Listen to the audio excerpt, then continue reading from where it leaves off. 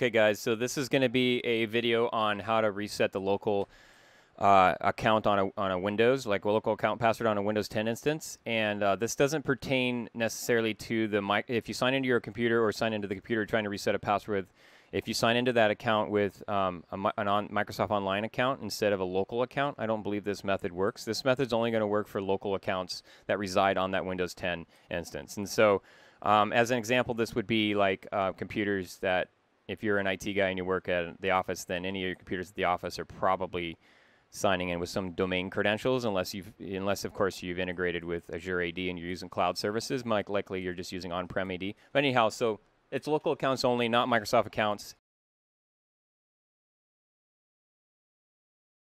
Okay, so this is a, uh, a, disclaimer here that the set the configuration you're going to be doing here, you can potentially mess up your Windows instance and um, also, I wouldn't suggest using this for malicious purposes. Um, let's see, what else do I want to include? Uh, make sure you follow the steps. If you do these in the wrong order, obviously you can make your Windows instance not as good as it used to be. Um, the other one I wanted to add in there was that if you use encrypted file systems, I would suggest paying attention to um, the, the uh, capabilities of that encrypted file system. If I remember correctly, maybe this doesn't apply to Windows 10, but EFS, Microsoft's EFS solution, I think did encryption based off of the password or something that of a user account. So if you were to reset the password using this method, there is a possibility that you might lose your encrypted data. So pay very close attention to that. I'm not responsible for you losing your data. This is literally just how to reset a password, and uh, you know that's the disclaimer. Hope you guys enjoyed this video. I used to do this same method in Windows 7. The file that you uh, work with is, is different than Windows 7 and Windows 10. But basically, this is the scenario. We've got a computer we can't sign into like this, right? I don't know my password. Hit the reset password. I don't know any of these because when I created my account, I didn't fill any of these out. Um, the use password reset disk doesn't work in, in a VM environment like this scenario. Um, there's probably a fix for this, but I'm not going to worry about that.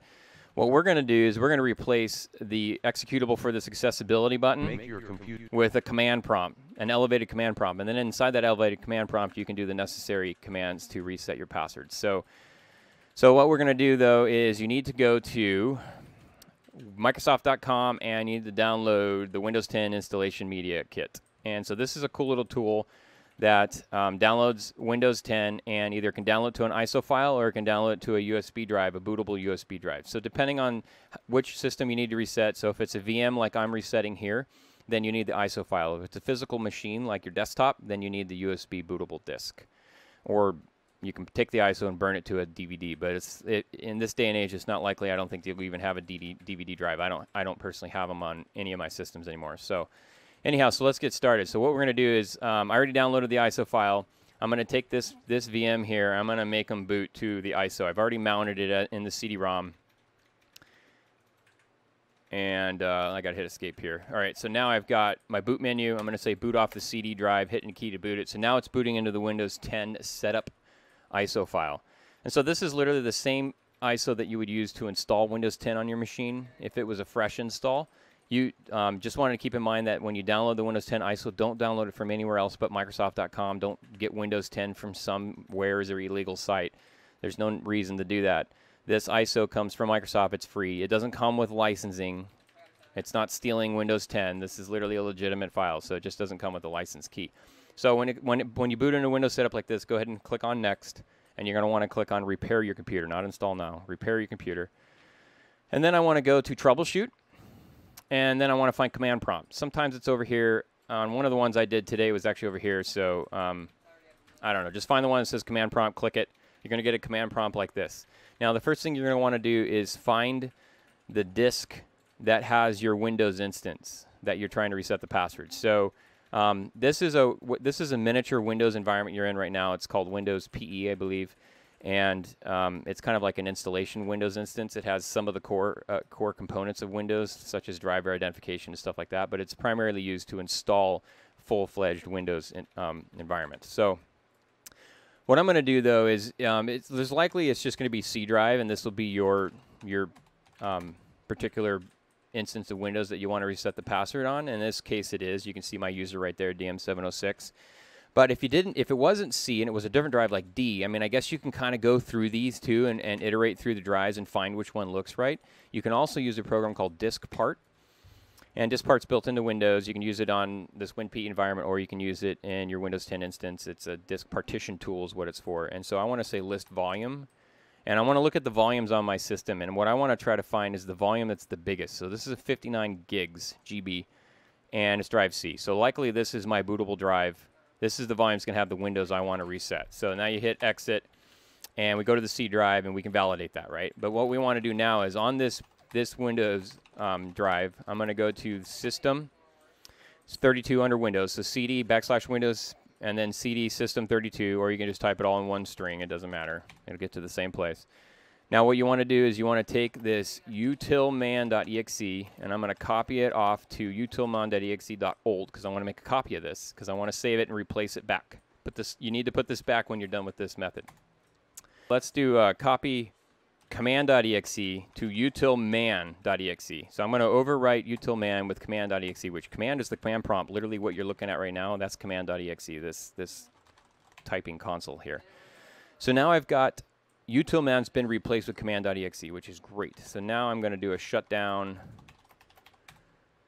reboot it, and it's going to come back into the Windows instance. Now I'm not going to boot off the ISO, I'm going to boot off of the Windows instance that I'm trying to reset the password for. So uh, let's go ahead and try to log in. This, remember, this is the place that we can't figure out how long because we don't know the password. So I'm now, remember I showed you this accessibility button. Now when I click on it, look what happens. What? That's crazy. I get a command prompt. I haven't even logged into the computer. This is an elevated command prompt. Okay, that aside. Let's go ahead and do a net user and this should show me all the user accounts on my system.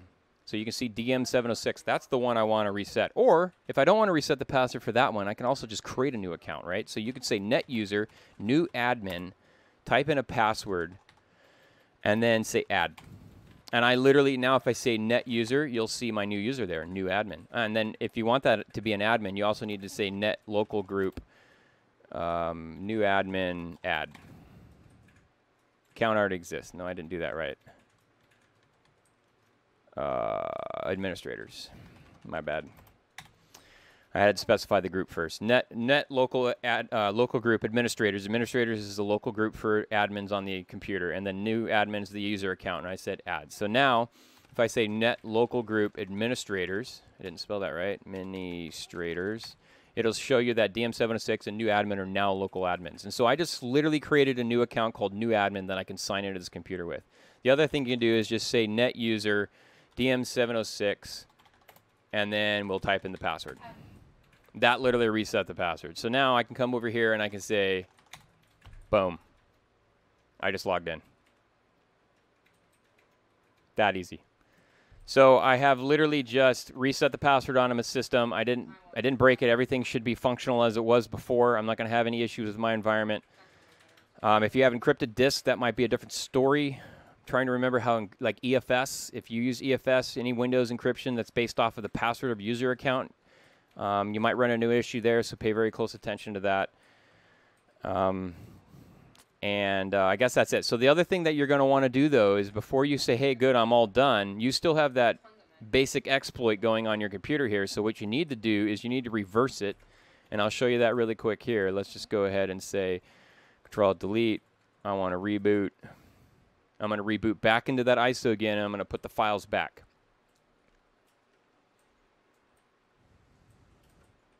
As soon as it boots. Come on, Betsy. You can do this. Okay, hit escape. Boot back into the CD-ROM. Say, yes, I want to boot to the CD-ROM. And it's going to take its pretty time. This is actually backed by a pretty fast SSD. Um, no, maybe not. This is on a spindle. My bad. Maybe that's why it's slow. Hit next, repair your computer, troubleshoot, command prompt. I want to delete C. Now remember, don't run these commands if you haven't run the first commands that I told you to run. So, okay, just want to make sure you understood that because we're going to delete system32 utilman.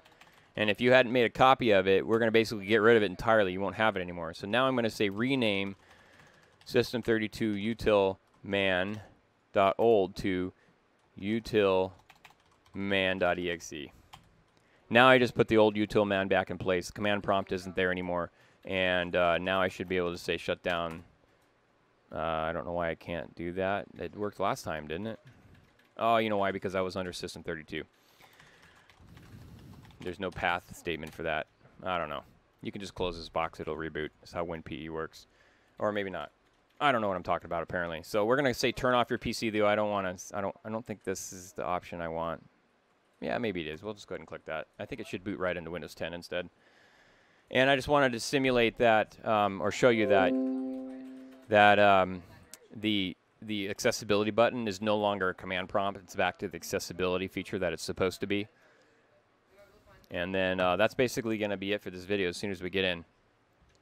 This works really well um, at the office if you if you're one of the IT staff and you um, want to have like this issue uh, often. What you can do is you can make a Pixie server and a PXE server, this is going to get way beyond just resetting it for home use, but a PXE server, you can network boot to to the Windows 10 ISO essentially, and then be able to type right in those commands without like taking a USB stick around with you or whatnot. You can just network boot right into them, which is one of the ones, the one of the ways that I did it.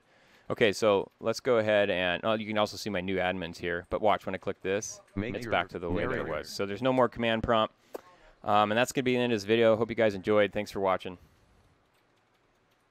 And remember, messing it up is your fault.